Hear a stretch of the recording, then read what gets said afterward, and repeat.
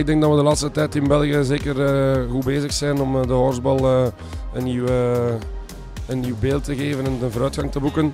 we hebben nu ook onlangs opgestart met Shetland Ponies bij Coldmid Stables. Ehm, dus dat is goed voor de, voor de toekomst. Nu in Frankrijk denk ik er is één groot verschil. In België is alles meer geprivatiseerd. In Frankrijk bestaat dat in clubverband. Dus dat wil zeggen in clubverband dat de, de, verschillende spelers mee met de club gaan, samen met de vrachtwagen. En bij ons moet iedereen zelf investeren in, in eigen materiaal en paarden.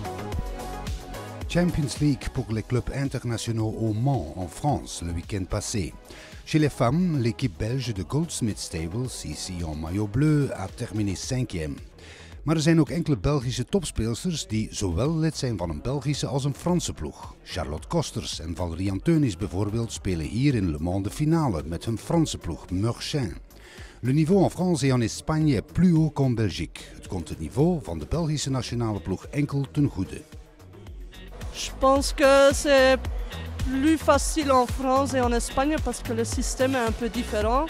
Donc on a des, en France, il y a des catégories euh, régionales aussi, donc pour diminuer les distances. Et aussi les manèges, euh, ils louent des chevaux pour jouer. Et ça, on n'a pas en Belgique. Tout le monde doit avoir son propre cheval, son propre transport. Il faut avoir déjà six joueurs et euh, ça demande beaucoup d'investissement. Et j'espère qu'on peut changer le système en Belgique, qu'il y a des manèges qui veulent louer des chevaux, qui peuvent aider pour transporter, qui veulent euh, louer leur installation pour jouer, pour faire des entraînements. Et ça, je pense que ça manque en Belgique. Donc euh, moi, je veux faire que la promotion. Robin Cole, hier met het nummer 7, is een Europese sterspeler die ook bij een Franse ploeg speelt, maar hier neemt hij deel met zijn Belgische ploeg Caramel. Een topploeg in Europa parce que Caramel joue pour la troisième place. Parfois on dit que le horseball est une discipline dangereuse pour les chevaux. Mais selon Robin Cole, ce n'est pas la vérité.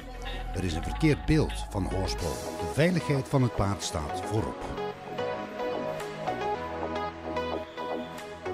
Voor, uh, voor zowel paard als ruiter is het effectief een harde sport, maar ook daarvoor uh, is paard en ruiter getraind.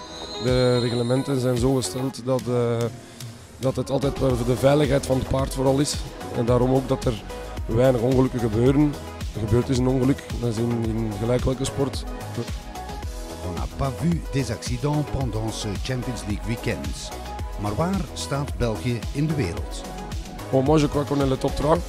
Et ça va rester comme ça je crois. Mais nous on travaille, euh, nous on travaille tous euh, pour, euh, pour prendre une fois la première place parce qu'on a vraiment l'objectif d'être le meilleur.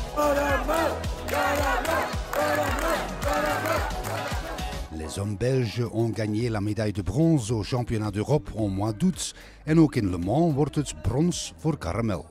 Goud is voor België het doel op het WK van volgend jaar in Saint-Lô, ook al in Frankrijk. In het wit hier de ploeg van Valérie Anteunis en Charlotte Kosters. Valérie avec numéro 1.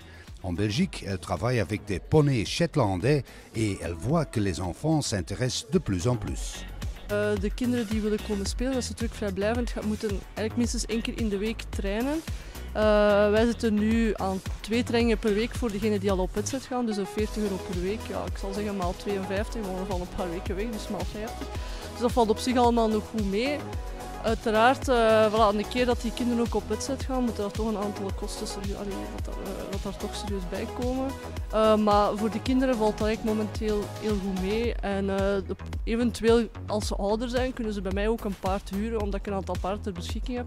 Ik spreek toch rap over 500 euro per maand met de pensioen en de huur van, van het paard erbij. En nog een keer voor de wedstrijd ja, komen er dan weer al die extra kosten bij. Maar En kinderen vormen in elke sport de basis. Oui, euh, moi-même j'ai une équipe de Shetland. On a deux équipes de Shetland pour l'instant. Et euh, les enfants, ils adorent parce qu'ils jouent ensemble, ils jouent avec le ballon, euh, ils jouent avec le, petit poney, ils s'en occupent, ils peuvent préparer le chevaux, les, les, petits poneys eux-mêmes. Donc c'est que, que positif en fait. Je connais des enfants qui au début ils étaient euh, en pleurant sur un cheval ou sur un poney. Et après quelques coups euh, ils s'amusent euh, parce qu'ils oublient toutes les choses qui peuvent se passer, ils jouent qu'avec le ballon et ils sont ensemble avec leur poney. Donc c'est vraiment super à voir.